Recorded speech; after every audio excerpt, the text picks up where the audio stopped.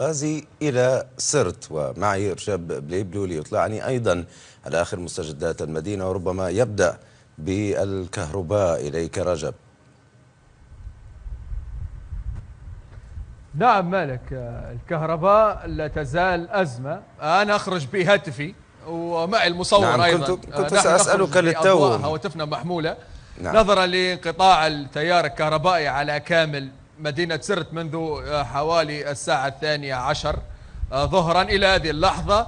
لا يوجد أي بيان أو أي شيء يوضح لنا سبب هذا الإظلام التام في مدينة سرت وضواحيها طيب آه، يعني أنت أنت موجود غادي يا يا رجب. من توا أو المكان اللي أنت موجود فيه من كم ساعة الضي مقطوع عندك؟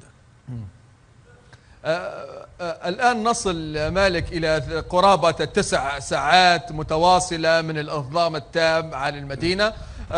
كل اليوم كان يوم شاق كعمل صحفي. نعمل على أضواء هواتفنا ونعمل على على المولدات بعض الأحيان.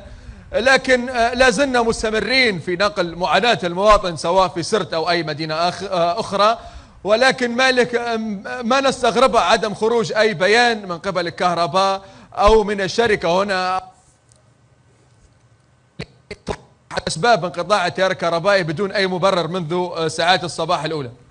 وربما كهرباء أثرت حتى في إشارة الاتصال بك رجب. بليبلو موفد قناة ليبيا. الحدث كنت معي من سرت. شكرا جزيلا لك.